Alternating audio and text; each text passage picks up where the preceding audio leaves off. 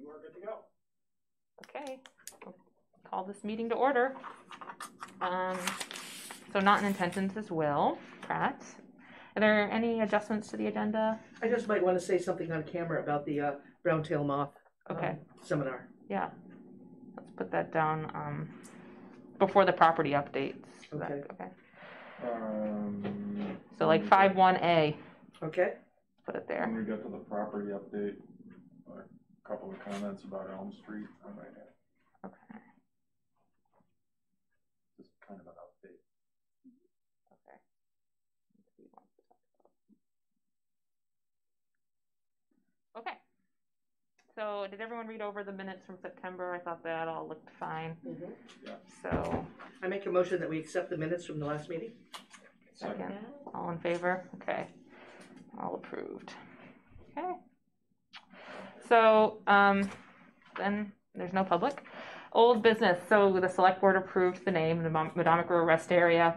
It's actually a relief because so many people have recognized that, that it's been on Google Maps as that, that it would have been not, you know, would have been a time, you know, some, some time to, to get that changed on Google, so like, oh, we'll keep one the same there, so, done, that's done. One typo. Well, there it is. so far, the other one's later. Oh, there's a K missing. Yeah. Um, the Pocket Park signs. Um, so Will isn't here tonight to provide the feedback. I was watching the meeting, the select board meeting, when they were talking about this. I did notice that Jan Jan Minzy said she likes the signs we have, the blue signs we have, and John Daigle um, said to Will that that's the one he because um, the wing tip of the plow, those ones move, Mhm. so they're better on the post with that. Um, The blue side. the blue sign, the one down, doesn't it have a The plaque. Well, chain? The uh, signs on Corey Hill, Dutch Neck Marine Park, I thought the Dutch Neck Marine one was on a chain. it's on a chain on the post. Are they blue? I don't. I- They're blue. Yeah, they're Okay, blue. Okay. They're like a dark blue or Okay. maybe blue. Yeah, I just had to think for it because I I just thought of the wood post, yeah it has the but the wood other side post and itself it's was yeah blue and it's white lettering. yeah. I have one comment on that that I'll probably have to take up with John, but, um, in terms of, um, signs for, for instance, the, the Medomak River Rest Area and Elm Street, um, the locations that I would be thinking of would be far away from, you know, not right there by the entrance, but set back quite a ways. For instance, Elm Street, we've been there so that you know that there's a property line between, uh, uh, uh, to the adjacent property owner on Jefferson. And there's some shrubs up near Jefferson, right on the property line. And my idea would be to set the sign way back against those. Yeah. So it would be completely out of the way. Similar placement over uh, the rest area. You know, and that, kind of single picnic table peninsula between the two driveways. Yeah. Kind of s- inset in there, Yeah, rather than up by the driveway where the plow would be. yeah. I um I think visibility is going to be an issue too, and I think what we need to do is maybe have a site visit yeah and um, a site visit to those two because those two would be the ones that have names to start with. I'm a little bit divided because I really like the signs we have now, and I also like the idea of having continuity. I love the idea that when you go through Waldoboro and you see that sign, you know it's the Waldoboro Conservation Commission sign. You know, like when you go around and you see the history plaques, I know that's the Waldoboro Historical Society doing that. Right. So if we're gonna change them or do something different at the pocket parks, do we do something different at the other parks, or can we just? I, you know, and the the they're vi- the blue signs you can read them, and I love the icons. You know immediately what you can do there. Yep. And Yeah. it, they fit the the quest from John Daigle. Yeah, I'll have to, I'll have to look at those a little bit more closely, Yeah. but my, my concern is how visible they are from a distance, Mhm. uh, especially at the pocket parks, to drivers who are traveling 35, 40, 45 miles an hour. You know, I mean, That's where I think you might need to put them kind of on the corner of the Yeah. streets, the corner of Elm Street and Jefferson Street, as opposed to in the bushes Well, or next to the bushes on the property. again, if it's, But the It's problem kind of- becomes it's not plowing. It's not an mm-hmm. either or thing. But Daigle said if it was just the single post, he could plow around that. with the, Right, with if something you that has a put it on chain. the corner. But if the sign, I, I- I don't know how large or bright the sign would be on those posts, but what I'm thinking of is a larger sign set back further, something that would be more visible, more colorful, My, oth- my, simpler. yeah, I my think the other, bushes would be in the way, right, No, and- they- from Okay, one this direction, not from the other direction. well, this is why we need a site visit. I think a site visit. I think we should table this issue of the signs for a site visit, that we can all look and agree, and we can, then we can stand or hold something up and look at it and be more, you know, Mhm, comfortable with, with our choices. Hundred percent, okay. Okay. Table the sign positions and style for a site visit. okay, so we'll table that for now, then we'll set the site visit for this month, because I really want to get this settled then. So Just- are just you to- gonna change what you've been doing? Is that the intent? I'm Not sorry, I came in late. necessarily. Um, just to reiterate what I've tried to express before, I'm not married to this idea, but I think it's being misunderstood. And I just want to make sure that Yeah. people understand what my, my thinking is. Right, but we have two, yeah, there's two different visions. Because you want something that is like, is a box with the words on the front and then flower, something where flowers can go, right? Well, Like a- no. A box that would hold a sign. Mm-hmm. Yeah, sign, Flowers are dressed. flower box in front of sign. I mean, Draw your attention. to Right. it. standard sign, you know, a, a, a board with two posts and then a flower box placed in front of that planter box. Um, So that's, that's part of the concept, but the location, the size of the sign and the location are, and the flowers, which add color, are kind of what sells it. You know, what makes it visible, what people, somebody driving by at forty miles an hour is gonna go like this. Could we use the style sign we are, you're currently using, enlarge it and put it on a flower box? So it's the same sign but bigger and it's been dressed up a little bit? Maybe. So The location will make a big difference of whether we use this box on the bottom or not. the other part of it is these pocket parks are small. Mm-hmm. And my personal concern is I don't want to take away from the view. I think something, I think it will take away from the view. Um, Again, location. Yeah, I think dressing them up with flowers is a nice idea, but I don't think you need to. I think the whole point is to see a picnic table, to see waterfalls, and go, ooh, mhm. And part of making sure that people from out of, from out of town or people coming and they don't want to miss them is making sure that the geotags are correct in Google Maps and making sure, which I've been going around working on that with all of our properties. So that's, that's another challenge of ours. Because Right. most people, when you're looking for something, I know I do it, I put it on my Google Maps and I wait till it says you've arrived at the Yeah. destination. Especially Okay, well, people who are- again, a site visit, we can discuss this Yeah. much more. So we'll set a date detail. for a site visit. Mhm. Okay. That'll be fun to watch everybody holding up things. I know. that would- Come take pictures of us. See how far. So away my we can so my only fear with the flower boxes is if Steve gets run over by a bus, who's going to water them? we have not re- resolved that. Luckily, there aren't a lot of buses around. That's what Twice a Max day, keeps twice- saying two to times a me. day that she can get hit. Okay. It could be a school bus. Um, Well, I'm pretty careful around those. old business on the town forest was um, we were still working on getting pricing, or Max is still working on getting pricing from an arborist. Um, have are they gonna? co- Is that same arborist gonna come for a walkthrough, or where are we at with that? Uh, I haven't had a chance to get them to Okay. come down, so Okay. I'm, I'm still trying to get them down here. I think we've got time because I don't think we can do the treatment till spring. Is my understanding from the Maine State Forest when did the Service. Beatles come? Where's, I, I'm, I'm, Oh, sorry. We have an agenda, thank you. Yes, I me. I'm We're the bad. I don't know how. I was so handle- excited about the Beatles. I I'm don't know so. how you do things in your I wanna hold your hand. That's what I meant. okay. Um, and then, so the insectary update is, it's really good news. I'm so excited. Is the governor's office approved us for an insectary location. Um, and not only that, I just want to make sure I get this right. They are going to give us um, two thousand beetles. Do I have that right? Yeah, two thousand beetles. They're gonna give us two thousand beetles. So typically, it costs two thousand dollars to get a minimum of thousand beetles. So they're giving us two thousand. You know, so it's four thousand dollars worth of beetles plus the insectary. So I'm just, Can we name them? I can't stop smiling about it. Two thousand of them? Well, they're gonna only be four different names. I just, I just. We're gonna name them after the Beatles.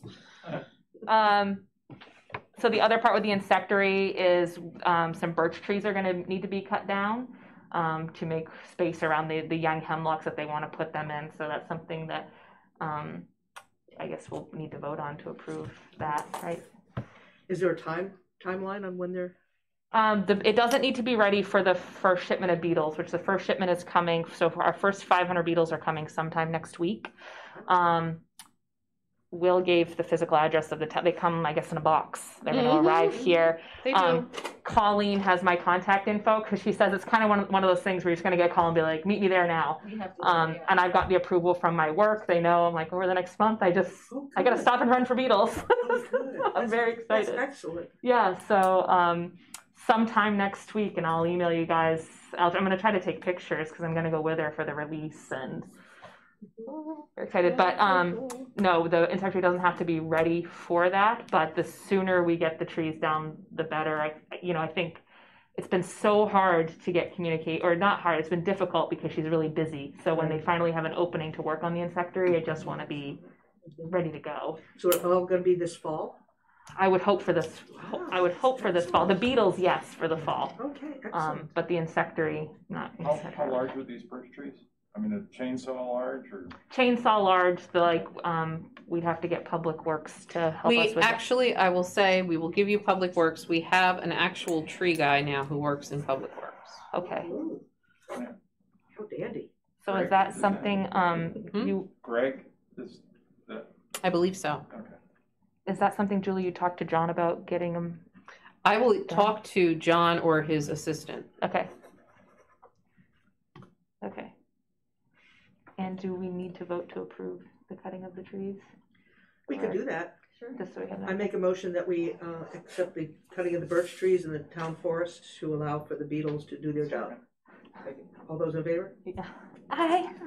Um, so I'm going to ask, I'll tell them to do it. Will somebody mark them? Yeah, how many trees are there? Yes, I can get that update from Will. He was up there walking it with Colleen. Okay. So I, I'll get the Okay. Will. How many trees? Will, will, mark trees. Yeah. Will, will. Those are always my favorite things to write in the minutes, when will, will do something.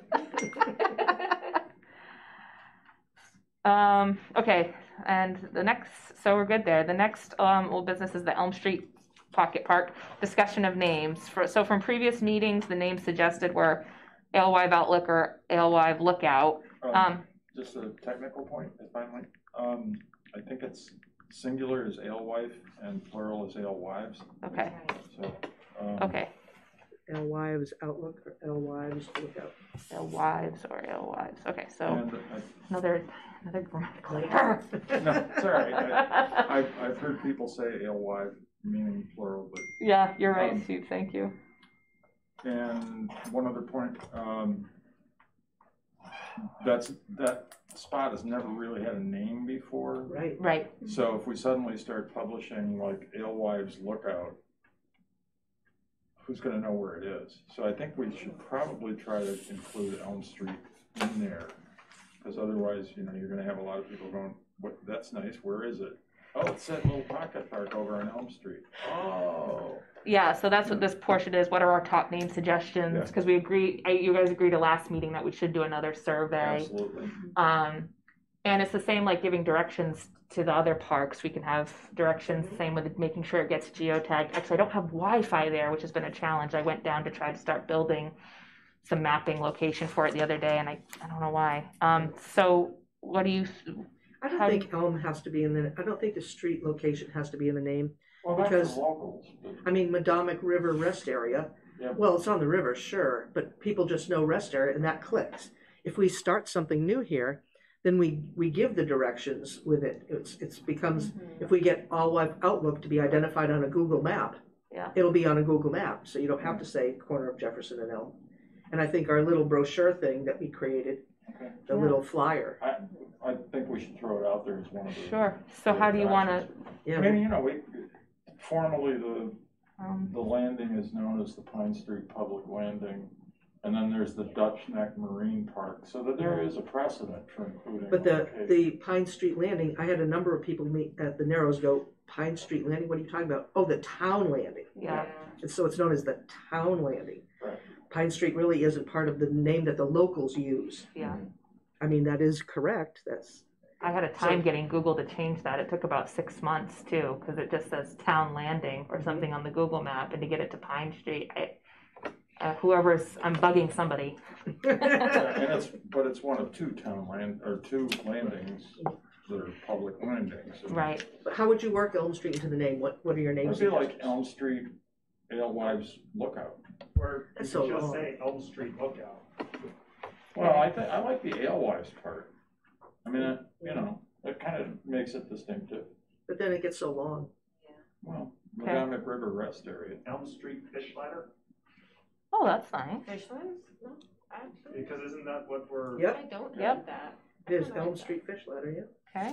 I think that's excellent because if we were ever to make a trail, that's what Damariscotta Mills Fish Ladder is. Yeah. Oh, that's a good point. And if we ever get that bridge from Was that Elm who, Street. who to- just came up with that? Max. That's why you're that's, that's why why, you you're my that. replacement.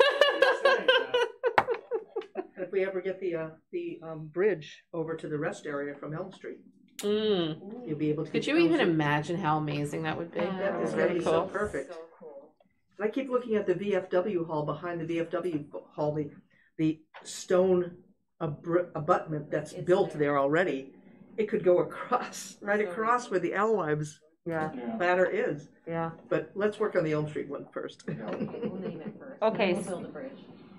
So we'll do the Elm Street Lookout, Elm Street Alewives Lookout, Elm Street Fish Ladder, Alewives Outlook, Alewives Lookout as our survey options. Okay. Yeah. Yeah. That's good. Okay.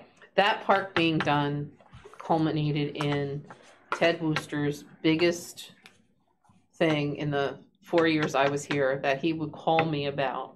And talk about that pocket park. Edward Uh, Fisher visioned that pocket park Yes. as well. And I think Edward gave that idea to Ted. Did he? It was Edward who came up with the whole vision of pocket parks in the area during that visioning session in 2010. Well, was he saying- would call me. He would call me up and say, Mhm. "Are you working on that?" Yeah. All the time. I saw you And neither one of them lived to see it happen, but they're looking at us now. I saw your comment that Edward, it was one of Edward's visions, and I'm like, it's always nice to ho- honor Mhm. the people who came before us. Isn't it? It, it Yeah. is. It's Yeah. true. You have to remember them. I just had a box of old photos um, dropped off by uh, Bill Maxwell from the Historical Society because we're doing a wallpaper out in the hallway Yep. with a bunch of old photos on them. And um, just looking back, you you know, you don't realize. Like I was like, "Who's this?" He goes, "Well, that was one of the former town managers, but don't ask me his name. You know, we don't know which one it was, so you never know. But you're, it is nice to remember. Yeah, it is. Okay, new business.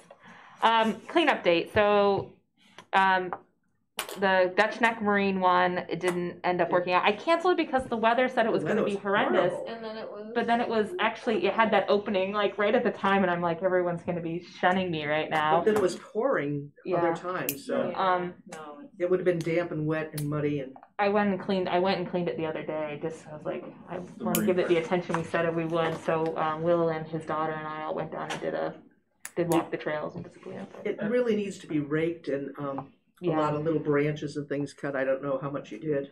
We did mostly a litter pickup and we walked the trails just to see where they're at and, it's nice to be It down was there. easily um, noticeable. Here. The trail markers are good. It was a little confusing um, when you get to the big rock and then there's two trails or two Right, because markings. one goes this way and one goes that way. Yeah, it was a little bit confusing right there because I started going one way. He's like, "Where are you going?" but um, other than that, it was pretty clear. Yeah, I don't know how to mark to say um, short, because one is a shortened version of the trail. So if you did Yeah. want to go in a more strenuous hike, Yeah, you could get off the trail easily at that point. Um, I think um, to think of getting a a, way ki- getting a kiosk down there like the town yeah, forest to then has. tell them that there's, there's a trail that makes it a short hike, or there's the longer hike. Yeah, And again, we want to call it the Fisher Trail. yeah, the Fisher Trail, the longer one. Right, yeah.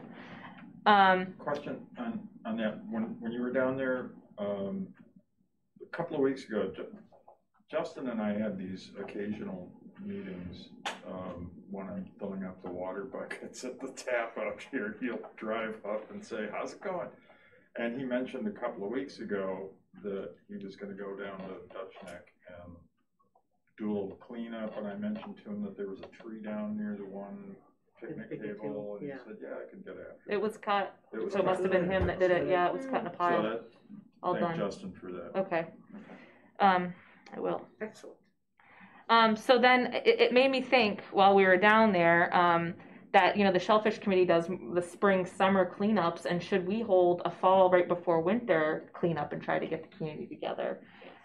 I, I You could think, try. I think it would, I, I think where that would be most important is, you know, cause the people like you and Carol and I with the garden club, when we're over there, it's a regular thing to go walk around and pick up the trash that's like around the picnic tables, Yeah. that's easily visible. But we never do a thorough walk along the, the actual water's edge. Yeah. And a lot of stuff ends up getting blown in there, and if it doesn't get picked up, Yeah, it down the ends river up it in the goes. water, Yeah. you know, uh, which is not good for anybody. Right. Um, so, yeah, maybe, maybe one after things, you know, we've had a couple of frosts and things have died down so that you, because a lot of trash will reveal itself that's in the That's true. the Yeah. And the leaves weeds died out. Yeah. between the Wait, moat area and the riverbank. November or something. Um, and it would be good to get that out of there before winter, Yeah. you know. Um, but then again in the spring, Yeah. because stuff still builds up. Yeah, and we can, I, I think it's important, Will and I went to the shelf, well, we all took a date to the Shellfish Committee, so, um, we can do that again, and we can focus in on the parks, or we can encourage focus, you know, we can mention that to them for the committee dates, but for what, so what they do is, you tell them where, the- where you're going in town, and they write it on the board, and they can mention if there's a place of, of an area, so we could do that on ours to people who show up, we could say, it would be great if you'd spend some time focusing on this, um, they meet at the, the, the Pine Street landing for theirs, and so I was thinking maybe we could set up our table and meet spot at the Medomak River Rest area, Mhm. um, and do it 'Cause that that, way. that's the place That's that a probably visible needs it the too. most. Yeah, it's a nice Yeah. spot, and people That's- might pull in and ask what you're doing, and it's Right. just to differentiate the two a little bit, but, And it'll um, be easy for people to find and Yeah. And I, locate. I had a- Right. actually a question about that, because, you know, I, I've participated in a couple of those cleanups, and I'm, one of these, one of these springs, we're gonna pull a dead body out of that river there, I'm sure. Ooh, we don't wanna I had- think I about pulled out, that. I pulled out a huge car mat, yeah, and all There was a kinds car of, mat I mean, there the there's other all day. kinds of, just big crap down there. Edward pulled a tire But- out of the Medomak River once Yeah. on a kayak trip. Oh, wow. But there's, there's always a lot of, just, you know, plastic Dunkin' cups and bags and Bud Light cans and whatever. Um, but some of that stuff ends up probably in the weeds across the river from the rest area. And I don't know that that's ever been done, been looked at. is that private property? Yeah, the, mo- the mobile park, um, they generally take care of that because they all have little gardens around their, um, little mobile homes and things. No, I'm not talking about. No, he's talking about- I'm Other talking about the The Elm other Street side of the side. The Elm Street side. Oh, oh, oh. Yeah, that is Across the river. Um, That is private property, isn't it? Uh, I think so. Wait, where? I Where your right bridge at is gonna the- The go. bridge Yes, that is private. Yeah. Okay, well, Um, that- that's the kibosh on that idea. Yeah, I'd table that. So if we did it on a, if we did the cleanup on a Saturday, the transfer station would be open, and Will and I both have trucks, so we could, I do. too. In lieu of asking John to bring the big dump truck down, we could, we could be making some runs to the, Yeah. I think we could do that. Um, so November, October, October thirtieth or November sixth would be some good days before it gets too cold. What do you think? Does either of those, a Sat, there's a Saturday, both, both of them. I'm, I'm gonna be traveling, I'm not gonna say when or anything on camera, but I'm, I'm gonna be traveling, so. Okay, Either of those dates. either for you, Yeah. Steve? Yeah, I- either for me. Okay, so I'll ask William too, and then, um, little email for the official date? Do we need to, do we need to vote that we're gonna? Those are both Saturday morning, right? No, we don't need Those are both Saturdays, yeah, so the transfer station is open. Okay, so I'll just confirm date with Will, um, and then, And I can show up in our truck too. okay, so we got three trucks, and then Four trucks. four trucks. Look at that, we're good. Um, and we'll need, out of our budget, we'll need to get garbage bags and gloves to provide to people. Well, I got, I, because we go through a lot of mulch and compost and bagged goods with the, the, um, uh, I've got, I've got all sorts of empty plastic bags that can be used for that without having to buy new plastic bags. Okay, well, we can bring them down and we'll go through those first, we'll prioritize those first. This also, um, makes me think of a thought, so, um, bottles, cause they'll be cleaning up bottles. I was wondering, why don't we have a Clynk for the Conservation Commission, and We can we have have a a Clynk for the Conservation Commission? To raise, should. to. No reason why we couldn't. No. I don't know quite how to set that up. I You know, could just do it right on their website, Mhm. yeah. I always take mine to the transfer station for the, that's the. Food pantry. Food pantry. Yeah. I'd give my bottles to the Conservation Commission. I'd give mine. There's some go-getters on that team. Okay, so, um, that probably we should vote on, to have a Clynk account, I can get that set up. I make a motion that we set up a Clynk account for the Conservation Commission. I I second that. see. All in All favor? right. We're, get- we're getting some money. And then people who use Clynk can donate to you. Yep. Yeah, we can, I can get them bags with the stickers, right? So we can announce that on our Facebook page once we get that set up. Some Money coming in. Yeah, okay. Um, okay, so we talked about a cleanup date. I think that's good and it can encompass, we can encourage them to go to some of our parks and trails to clean up as well. Um, all right, property updates. Brown tail law. Oh, I'm, Oh, yeah. I oh am. yeah, Brown Tail Moth, sorry, five A, we had an adjustment to the agenda. A Short Okay. little comment. I did go to a little seminar for brown tail moths. It was a um, entomologist from the state. I guess there's three entomologists. They tend to um, specialize in certain sort of um, insects. And he uh, specialized in the brown tail moth. He did speak a little about the woolly adelgid and some of the other insects, um, the emerald ash borer and things. And basically has a flyer that um, a lot of them, uh, the Bremen Library has a whole series of these brochures available.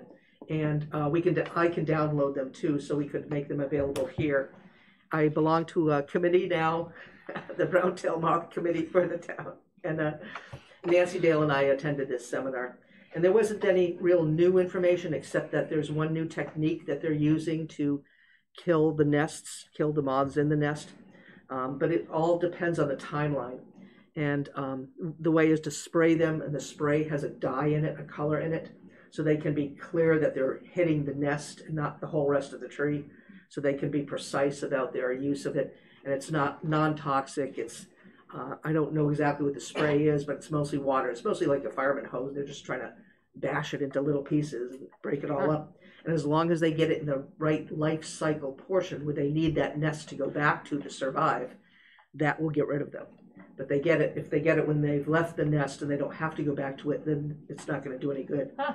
So you have to get the life cycle right. So one of the things that they're working on for the state entomologists, and they're working on this for the life cycle of all the invasive insects in Maine, is they're putting together a life cycle chart to show you when certain when they're in certain points of their life cycle and when it's best to eradicate them and how to eradicate them. Kind of a calendar. Yeah, kind of a calendar that shows you because if you do certain things at certain times, you think you're getting rid of them, and it's not making much of a difference. But if you hit it right at the right point of the life cycle, you can eradicate them fairly well from the locale.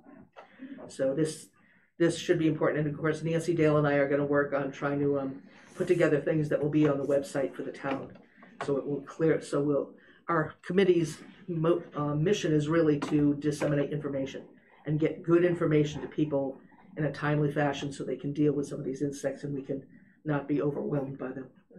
Are you gonna create a Facebook page for that? No. Okay.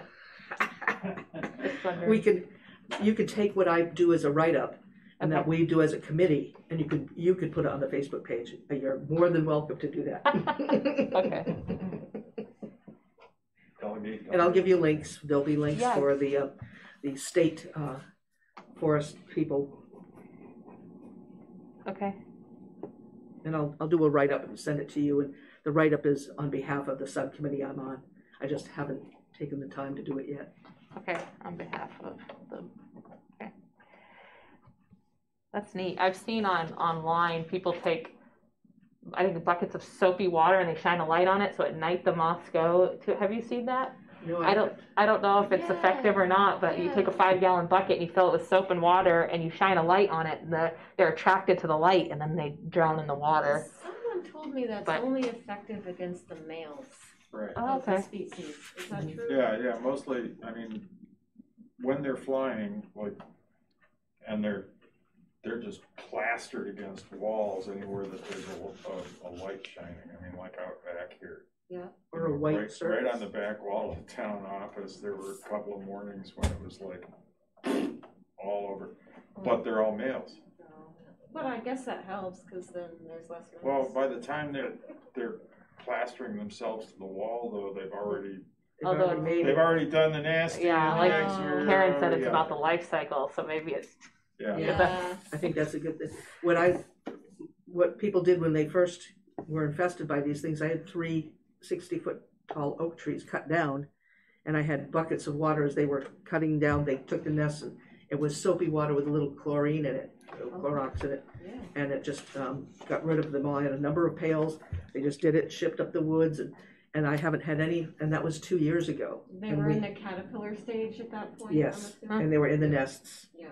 And it was early spring, so they still needed the nest to go back to. Right. And they were in the nest at the time of day when they came, so that um, they were. I haven't seen a uh, brown tail moth caterpillar in two years. Wow. yeah, we don't have them on our That's property. impressive. So, but this it's on a peninsula too, so maybe it's just. Hmm. Yeah. Neat. Thank you for sharing, Karen. Okay, the property updates. Rachel, a little bit about George Gould.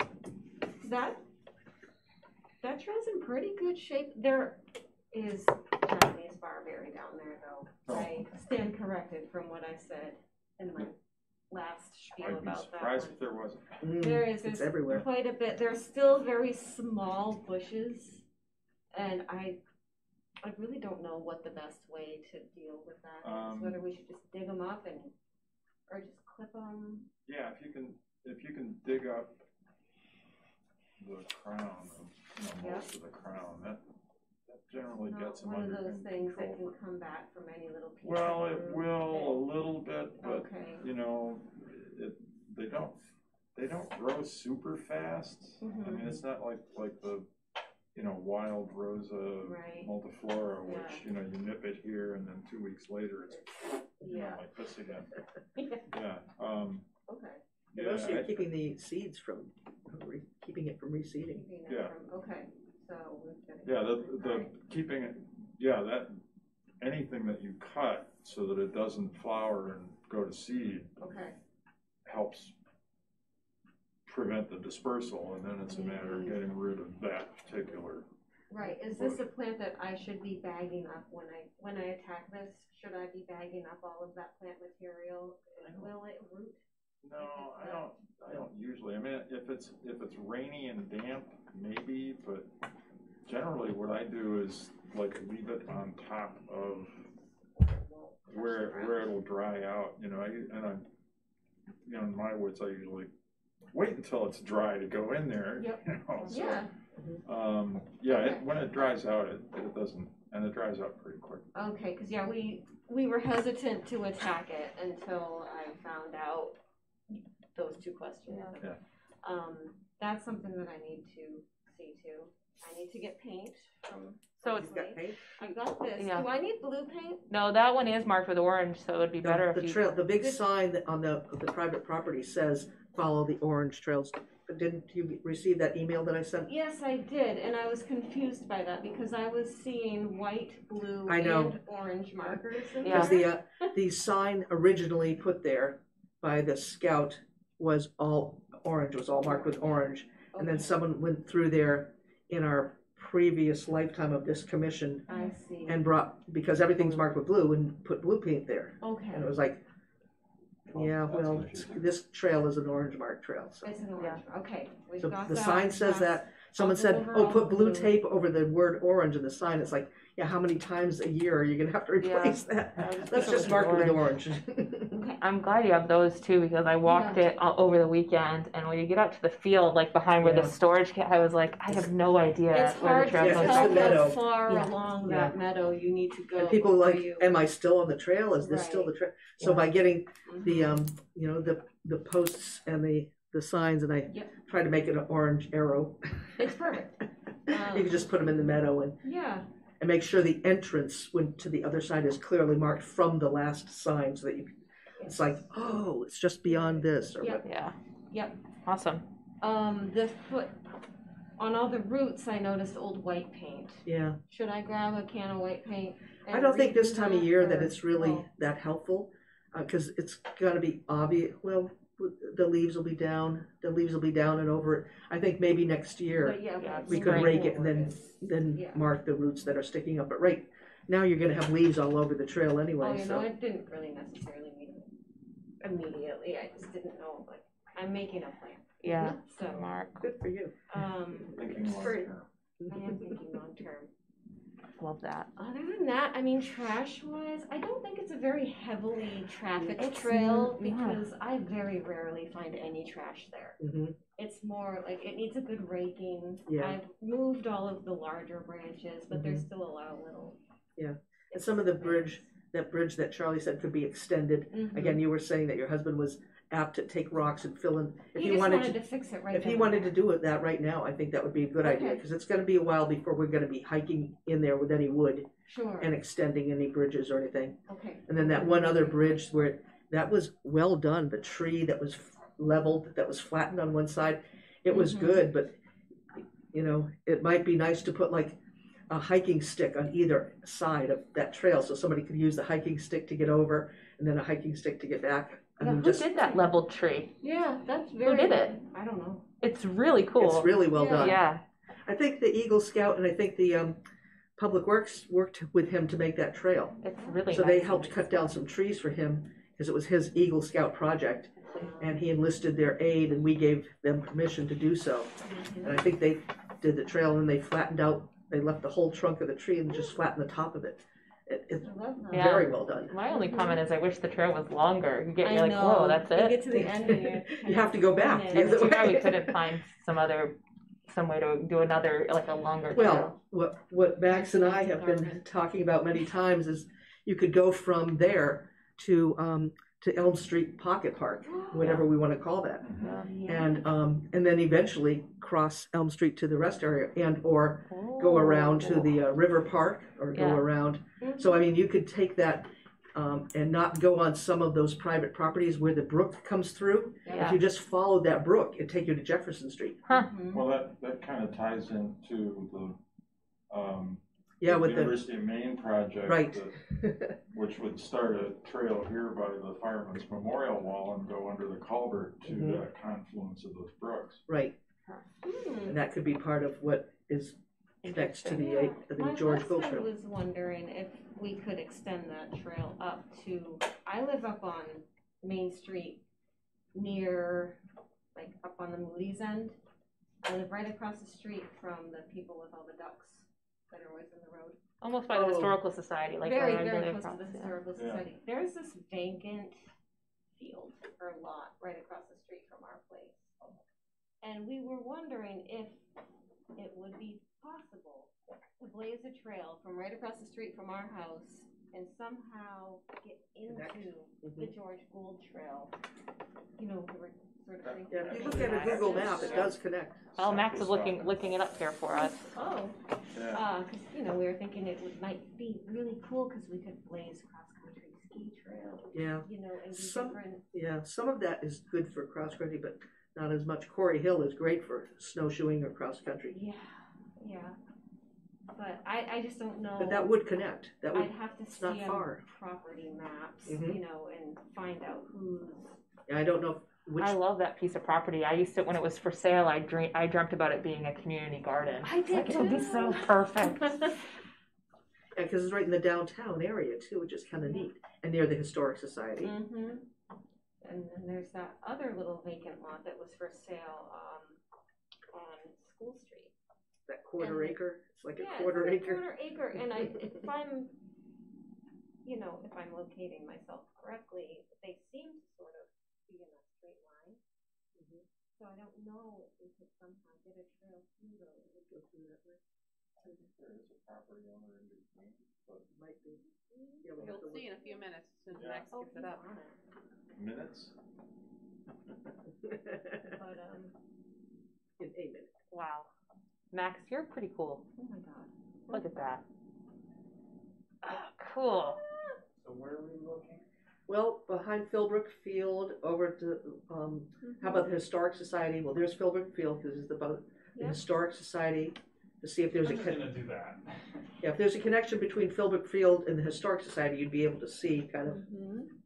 Well, yeah, you can kind of see it that way. It's Yeah. lower. So, So you sort of, so let's see, I think, so this is the historical society over here. Okay. you So. You can see Philbrook Field. With that there's the parcel? Winfield, Yeah, so there are two parcels that we'd be going across. And they already have the trail on them. I was about to say. They already have the trail on them. You You have really to talk to wouldn't- them. Um, for the historical society, I think the issue is that they have that, uh, they have that, what are they- what is it even called? The po- pound, the animal pound. Yeah, the cattle. The cattle That one? Yeah, it's like all those stone walls and Yep. everything. Yeah, the That's cattle a pound. Pound. Mhm. Waldoboro Henge. Okay. And where would parking be? Like, would the historical society allow parking to park Well, there and walk in, or? Really wouldn't be too close to the historical society. Can I get up and move? And Yeah. I'm gonna But- just but, point I to mean, it, yeah, cause it's actually I the mean, lot. parents always did warn me about, you know, not being so close to TV and all that. I- So this is my lot here, Uh-huh. and what I'm looking at is this here and this here. Is there any way we could go across there and go straight into this country trail? Uh, this lot, we would have to probably see if it's still for sale. It's a landlocked one It is. that only has access to the right of way in, um, Silver Fallfield area. Tax map, right?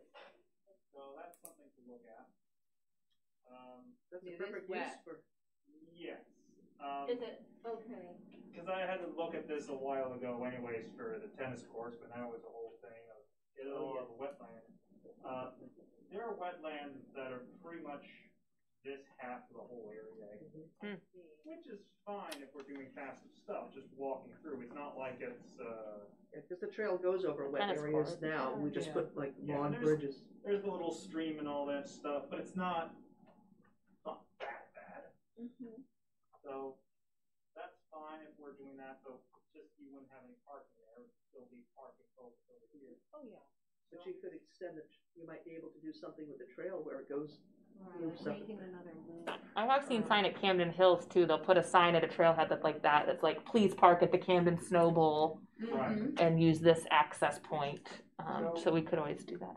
It would essentially be this person who I think is the, when you were just talking about, who has like all the Yeah. animals there, we have to see if they'd be fine with.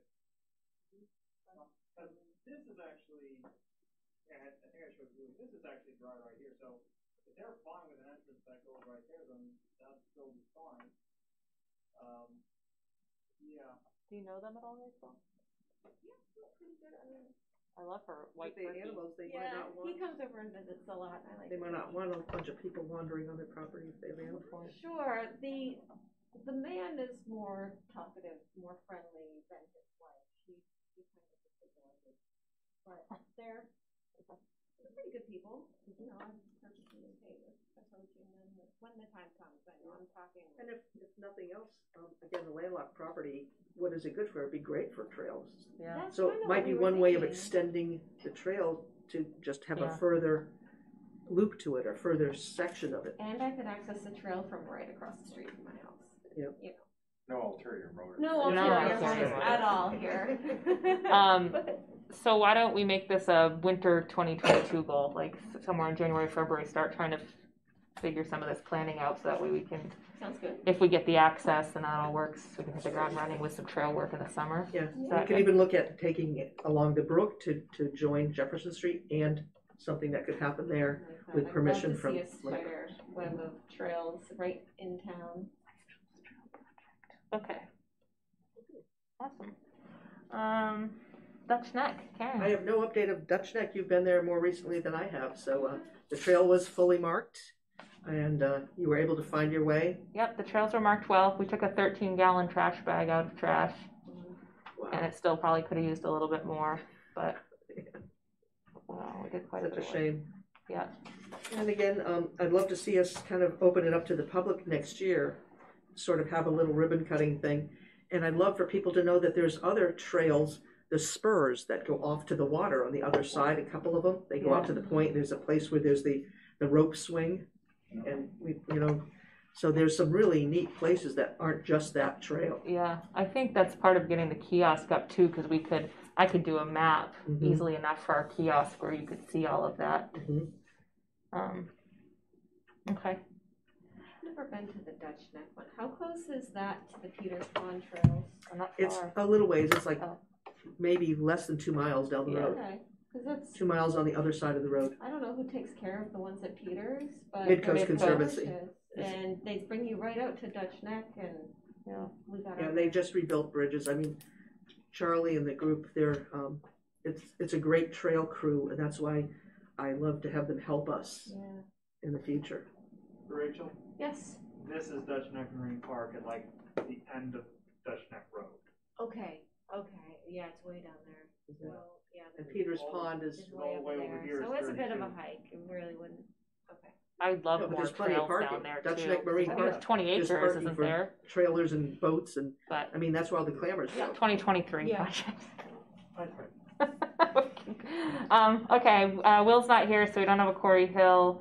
Um, I think we've all kind of got a pulse on what's going on at Elm Street, and Steve wants to talk a bit about that. So Steve, you're, you're, um, Yeah, um, actually, it's too bad Will isn't here, but maybe he's listening. Um, uh, just a couple of quick ideas. Uh, well, one thing is that the, uh, Public Works did dump a couple of small loads of, of topsoil or whatever there, but it's probably not enough to really make a whole screen, so unless they've got some more that they can dump there, we're gonna have to go back to Moose for a little, more- the garden club will for a little more topsoil, you know, bag stuff. Um, but we definitely have the forsythia, and now that the weather is getting a little drier, Carol and I are probably gonna move that up on our schedule to try to get those in this, fall yet. Um, and, the other question, um, or that's kind of will related, is that when the initial work was going on, uh, we talked to Greg, the arborist, um, about, uh, pruning and reshaping the apple tree that's on the Elm Street edge over there. There's one sucker that has turned into an actual branch that's leaning into the into the trees that are over the water.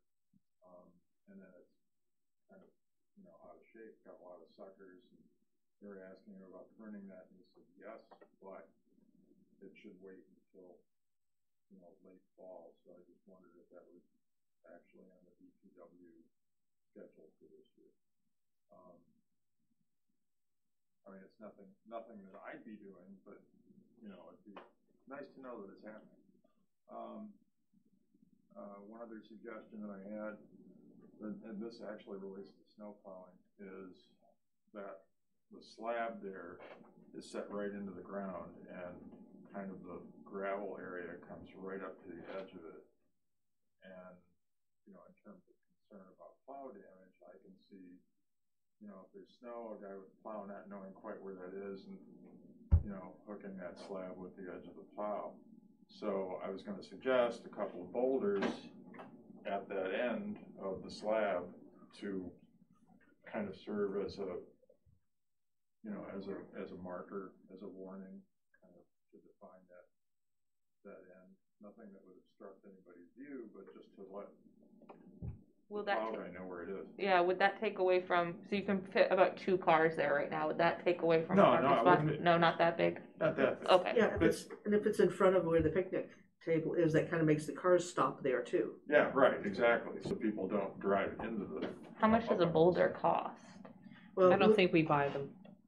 No, look at the, I think look we at the- find them. Did you see the giant granite slabs that they put on the edge of that park area? I mean, Yeah, yeah. Yeah. Oh, just, e- easily half that size would work. Right, right, but that, the Well, yeah, granite I ones mean, cost you money, the right, didn't at they? the, at the town landing, something about half the size of those, a little Right. taller than the slabs. Right. So that they're a little more visible. Okay, Right, so they go up, but I imagine John will find one. I'm Okay. sure he can, I'm, I, Okay. if, if there's Rocks ever are no anything that shortage we, this year. we think about building, you know, like, like benches or something like that, always think boulders, cause we have them. And, and if you work them right, they work just as well as, as anything else. And, Okay. you know, it would help John to get rid of some of those probably. and you can sit on them. Okay, uh, and you can sit on them, right? we can email a list to Will of things to check in on. Does that sound good? Yeah, I, I, Give him a I to-do planned list. do- I planned on talking to him tonight. Yeah, yeah, okay. Um, let's see, the other, the only other thing about, uh, Elm Street was, um, I was, I was thinking I just wanted, again, idea, not married to it, but I can get like a bag of a hundred big daffodil bulbs from Ooh, that'd be cheapers. nice. And I was thinking on the side, again, on the Elm Street side, kind of halfway to the, the remaining trees there. Just to have something nice there for spring to attract attention. If you've got the forsythias on one side, the daffodils on the other, that'd be lovely. Yeah, kind of, I think it would be kind of nice, and the bulbs are cheap, it's like eighty-five bucks for a bag, a hundred, so. I don't know, Uh, And that, is that, um, garden club or, yeah, it would be garden club, it wouldn't be us. I Okay. just kind of wanted to run the idea by, I can run it. If it's okay with you guys, I'll run it by the rest of the garden club and see what we can do. Throw a few tulips in. Well, I don't know, I, they're, I think will they're deer over there. Yes, some. There they are. Yeah. More edible, Cause, Yeah. uh, you know, I, I, true. And this is They're gonna be unprotected. deer ate the tulips that, that I put in over at the rest area. so- Okay. Yeah, At my house, the So chipmunks then are the doing L it. look out, what the deer look out. Yeah, exactly. Okay? Elm, Elm Street White Air, Whitetail Preserve. They wouldn't last long there. No, they wouldn't. Yeah. I don't think with the neighbors. Oh, no, you're right. The neighbors would love it. Yeah. Oh, I'm sure they would. Sitting on your back porch. Baby. Look, Martha, I can just open the window. How about the, um, Medomak River Rest Area and the Pine Street Landing? Okay, Medomak River, oh, I've got my, um, I filled out my form. Excellent. Um, okay, the rest area, we, we just, Carol and I just finished a, a new custom bed that was, um, to fulfill a request from the guys who mow at, at the rest area of, uh, daylilies and some tall perennial geraniums around where the wires come down from the telephone poles. They don't have to do this anymore. Um, so we, did- it's, it's all planted, I just need to use some of the mulch from out front to mulch it out, and then there's still some wood chips over there and some wood chips in the pile here, and, you know, maybe connect that to the, the current bed area by the forsythia, so that the, whoever's mowing doesn't even have to get through there. I'm trying not to make it a maze, or an amusement park for whoever's riding the mower. Um, every this get, relates back to the litter thing. Every time we're over there, which is, you know, sometimes it'll be three times in one week and other times it'll be just like once a week. Yeah. Um, depending on what we're working, but every time we're over there, you know, it's just kind of a matter of routine now. We pick up litter wherever we can see it around the picnic tables, by the little fishing spot, along the fence line. Um, and we probably get, we probably get a Hannaford plastic grocery bag every time we do that. So, Do you think that's like three to four times a month you're getting? yeah, probably. At least, at least twice. Is there a garbage can there? No, No, there's not a garbage If you can. put There's one a- there, then there's a- people are trying to aim for it from their car. There's a Well- cigarette Well, not only that, but I also think people bring trash that Oh, yeah. shouldn't be there. Correct. that- Home yeah. and leave it. The cigarette receptacle. Will's been checking that, um, and it keeps getting there's garbage jammed into that. Yeah, Oh, I, you're I noticed kidding. that. So No. I pulled, somebody It's awful. stuffed a couple of napkins in there. I'm thinking, well, that's a fire hazard. and I Yeah, that'll be exciting. got Things out of my truck and pulled that out. I just, That's a shame. people can be really stupid sometimes. Anyway, um, but yeah, there's, it's all the same stuff every time. It's, you know, napkins and plastic cups and food containers and wrappers from either Hannaford or Dunkin' Donuts. Um, it's cans of whatnot, the little, what is that, McGillicuddy's, little, The nips, like Oh, the nice. Fireball and the Yeah, McGillicuddy. I plastic. see a lot of those. whatever what stuff is, I don't drink that. Um, and, um, and still, a lot of package, empty packages of Pall Mall Blue one hundred. Oh yeah, I know. I was I talked to Will about moving the receptacle because it's in that one spot, and whoever does it backs up, and it's to that left by the bush. I cleaned it all up over the weekend again. I mean, and then if they don't get the hint there, I thought I was like maybe we'll put a sign like to the Pall Mall person, A- aim please, or like Right. we've got the receptacle there for them, and they're still not using it. They almost it's like they almost empty their vehicle or they Ashtray. just it's it's like one to two packages of Pall Mall butts. You will get a prize if you get it Yeah, well, into this I- I- container. It's the empty Don't tell them a prize. package, just- well, We'll and I never found give all the prize. Pall Mall wrappers on the other side in the Right, bushes. So This Yeah, is the exactly. Conservation Commission, was Um, hating you. Okay, so anyway, going down the, uh, the, um, Trail Park Report form, which is a really good idea, cause it makes me think, oh yeah, I should remember to say something about that. There's still one snag in the river from a tree that fell down, it's on, it's kind of, um, the riverside of where the Forsythia bed is. Uh, it's been there since spring, I've been meaning to try to cut it up so that I could drag it out, but just haven't gotten it. I, I don't know, I mean, it's, it's a tree, you know, and rivers get tree snags yeah, falling in all, all the time, and I don't know whether it's something that actually needs to be cleared out or not, but I just, you know, from a naturalism point of view. right. Joan just Joan Ray mentioned to me once that sometimes it's good to let trees be where they are for the decomposition process Yeah. and the beneficial uh, bacteria Yeah. and everything that comes from it. So maybe it's worth taking a peek and then determining. But Right. it might just be that it needs to break down. Yeah, but I just, it's kind of like the suds, I saw those and I thought I'd mention it. Yeah, yeah. Um, uh, invasive species observed, yes, there's a little bit, for now, a little bit of Rosa multiflora that I've cut back a few times, but there's, uh, on the side that faces Route One, where the poison, near where the poison ivy was. Yeah. Was, past tense, it's gone now. Looks so good. Um, there's, uh, uh, kind of right between where the poison ivy was and that little parking spot at the fishing, uh, spot. Uh, there's a big quince there and it's halfway invaded or merging with a huge barberry, which I kind of whacked at a little bit in the spring, but have never been able to get back to, so. Um, so there's your invasive species. Uh, our picnic table's in good shape, the tables themselves, yes, but, you know, for the record, the two by twelve or whatever it is, frames around the gravel bases, they're in need of repair or replacement.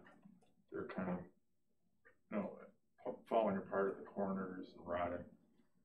So, I pried some gum out of one of them over the weekend. out of the picnic table. I don't know why, but yeah, well, um, and then does this recite, site require a special cleanup effort? We've already covered that. yeah. So um, when I sent the email, I was just thinking it's such an easy spot, such a central spot, the rest area, and it takes ten minutes. You know, I've been I've been popping down there after work, so I was just thinking if we all put an extra eye on it and had a garbage bag and was just threw in. My cousin and her son have been fishing there, and they've been trying to pick up. That maybe we can help minimize the the litter or just keep up with Yeah, it. if everybody that's involved with this kind of Yeah. stuff. stops Maybe you there. could start putting out like little things because I know people do actually read the Facebook page, and then we could post it too. Okay. Of just hey, why don't this week we're focusing on cleaning up this spot, or next week we're going to focus like every week give everybody a weekly focus your efforts here. Yeah, that's town a good folks. idea. Okay, Do you all like Especially that? while the Yeah, I weather's. do, I like I that love idea. that. Yeah, okay. Just because it would be something fun that people could do. Take a picture of the spot Yeah. Okay. and give kudos and say sign up and not even sign up but just you know hey if you have time please help us Yeah. Okay. the quarry would be on that every week but Yeah. Yeah. Yeah. That's the glory. Over the summer, I picked up trash there multiple times a week. Um, okay, so the other thing is the Pine Street Public Landing. Um, yeah, I don't, I'm there, you know, I swing through there at least from coming from home. I mean, it's, it's tempting. I, I, I have a difficult time, I think my truck steers to the right when I'm coming from home and it automatically goes down to the to the landing to take a tour of the thing, and I, I'm always scoping out for litter, and I don't find there, nearly as much there as I do at the, the rest area. Uh, when I do, I pull over, stop, and pick it up and put it in the truck. Um, I haven't seen any trees down there, um, or branches. Yes, there's quite a bit of, uh, the multiflora wild rose. Um, one major bush that's right on the border with the Cabot property next door. And then there's the, adjacent to the section that John cleared out a couple, three years ago behind the kiosk. Mhm.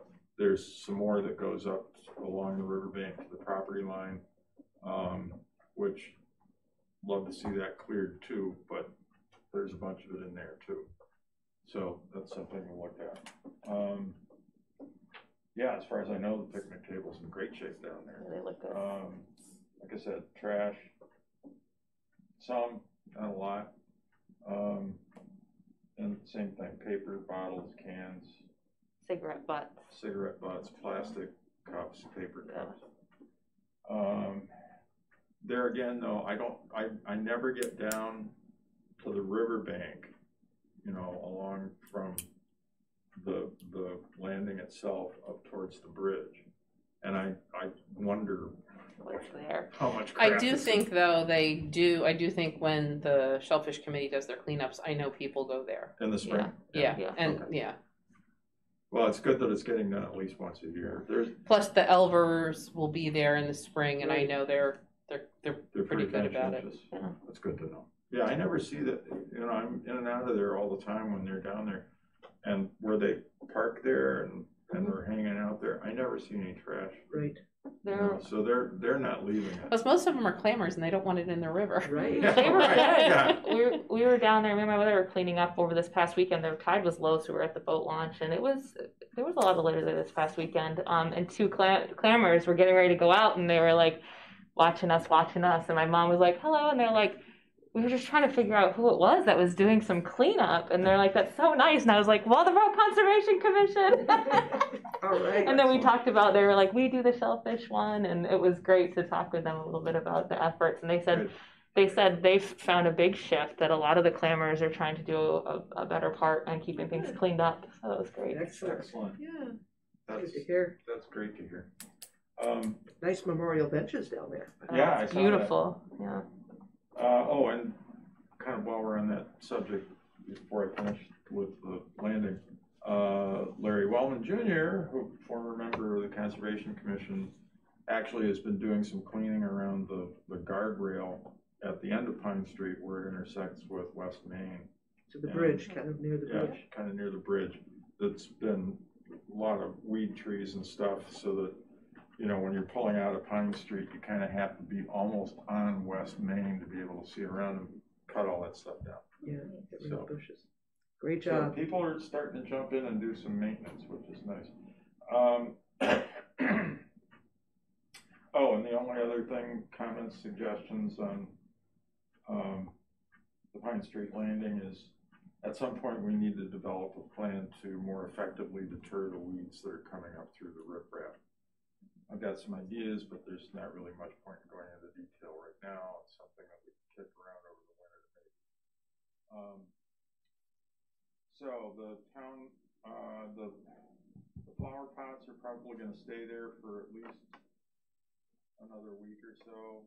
Um, but there are two mums down there bracketing the kiosk, two of the big, huge moose crossing mums.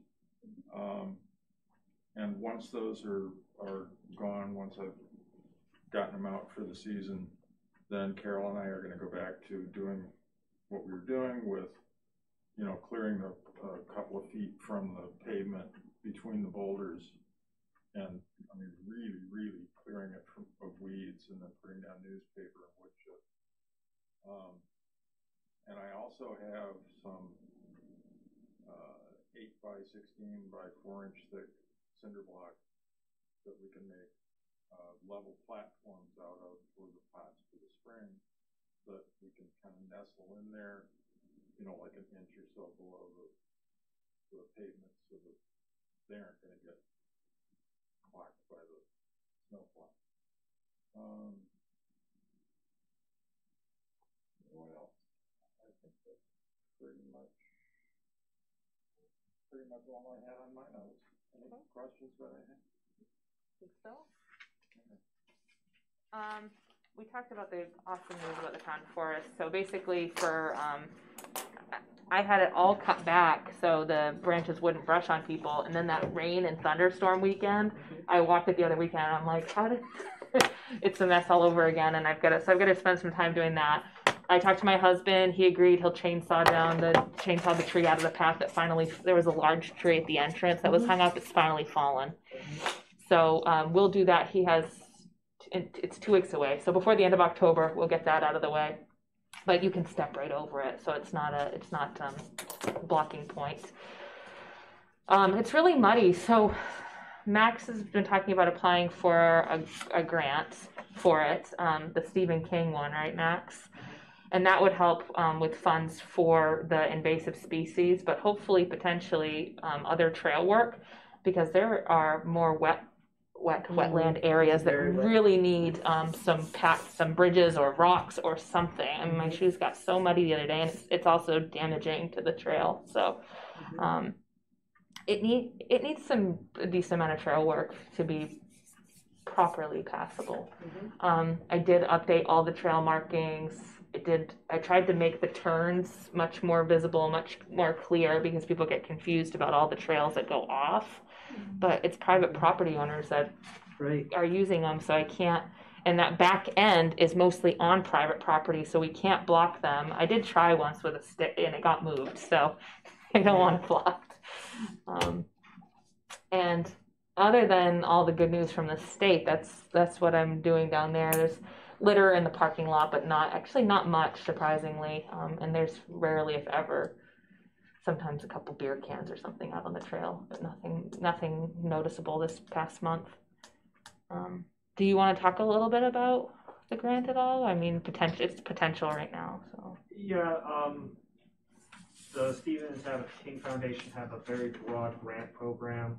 Uh, they give grants as small as five hundred, as big as fifty thousand, it depends on how, how many applicants they usually get. And, uh, the town actually got this fund, funding about two years ago for the self-contained breathing apparatus devices for the fire department. So now it's been two years, we're open up to doing another grant and figured this, this would be a nice small project that we could get the funding for necessary, unless there's a different project going on that I should be using it for. Um, but, uh, I mean, Leslie told me it would be maybe five thousand for this invasive species work, based on what you were told, so that would be fine, and then add in some small improvements, this would be a, a simple little ten thousand dollar pro, uh, grant for that. I'm yeah, I'm, I'm hoping. I guess based on like the fifty dollar tree injections, but now we've got the beetles from the state, which I wasn't accounting for. So I think a light, little nice ten thousand dollar project works with Mhm. It would be great. Yeah. With the forest could definitely, we- then we could get the wood to do the walkways and we could use it. And, and maybe we could use that to make another trail through that stays on our property. Right. Yeah. Well, well, the majority of the fund, most of the funding would have to go to like the top priority of the invasion. Okay. Or whatever the heck they're called at this point, and then, uh. Woolly whatever- allergen. Woolly, They're woolly. woolly bully, that's it. Woolly Bully bully. bullies! Yeah, They're bullying the Like, if hemlocks. it ends up being a nine thousand dollar project, you know, that's what most of the money goes for, and then the thousand goes to maybe a very nice kiosk or something. Yeah, Yeah, a that would kiosk be would be helpful. great. Just an aside, when I was at the Bremen um, Library and we were listening to the invasive species talk about brown-tailed moth, I, I brought up the, um, the town forest in, in our discussions. I mentioned that we had a, you know, hemlock grove, an ancient hemlock grove, the town forest. And a number of the ladies go, oh, where? Oh, where is this? And of course, I had my handy brochures, my little flyers that we had made. I rushed out to my car and grabbed my flyers. I left a whole bu- bunch of the flyers at the uh, library in Bremen. Awesome. And they seemed interested in knowing it. They said, I didn't realize Waldoboro had any recreation areas. Oh, well, thank you for, for the, My heart. Yeah. So it was good to pass the news along. yeah, that's great. That's great. Um, any other questions about the town forest? Okay. So that pretty much wraps it up. Next meeting, we'll continue with our steward project of being responsible. Will's gonna take on the Elm Street area and Quarry Hill, so he'll have the two. I know that one's, was, has And been I'll get added. with Will on those questions that Okay, I raised. Okay. um, next meeting, November second at five thirty. I have one, I just wanted to add this, um, and it, it may not be vital. Um, I've been, I drove by Elm Street a number of different times when I was out doing different things, and there were about four days, not in a row, but four different days, the same car was parked there. The Lexus. Yeah, Yep, I And noticed it as White well. Lexus, yeah, it was I there didn't came notice. I didn't know if they were staying there overnight, it was a neighbor using that as a parking lot. I don't know if we have to put a sign, no overnight parking, or, Mhm. you know, I Yeah, just, I suspect just it's was- a neighbor. I, I think they're using it as a parking lot, and that's not the purpose. Yeah. Yeah, the first And time I it's saw a it, I was little- really excited, like, wow, Yeah. somebody's using. Yeah. I, I saw somebody walking, and I saw the car there, I said, oh, isn't this nice, people are using it, it's Yeah. lovely. And then the next time I drove by the same Where do you car, think the they're next- coming from? I, I doubt they're coming We think from it's a neighbor, Street. we think it's. Well, I don't think there's a neighbor on Elm Street. Driving in a not on Lexus Elm Street, SUV. Jefferson Street, yeah, Jefferson Street. Oh, I- you think it's? I think it's Jefferson Street, We can. I, I. I. I we know a neighbor. We can ask them whose it is. and ask them not to park, not to use it as a parking lot. Well, w- we'll find out who it is. Yeah. I'm sure. I got I was concerned because I it was brought my there for camera forty-eight tonight 'cause- hours. As I drove by, I was gonna take a picture, get their license plate, Yeah. um, but they weren't there. If I see it again, I will. I messaged Will because I was worried. I'm like, what if somebody was fishing and or there was an accident? I got concerned something had happened. Yeah, Um, and then I went back that evening and it was gone. So I have, um, but I'll keep an eye out too if we can. yeah, but it was like four different days. Yeah. Uh, Julie, just a quick question. Is November second election day or is November 9th election day? November second. Oh. Oh, okay. Ah, I don't know why. It is It is November election 2nd. day, November second. Oh, It is November second. yeah, but it won't matter if it's in here. all right, I just want to make sure. Everyone's good then? Yep. Okay. I may not make it to the next meeting. Again, I'm traveling. Okay. Traveling, traveling. So meeting adjourned. All right.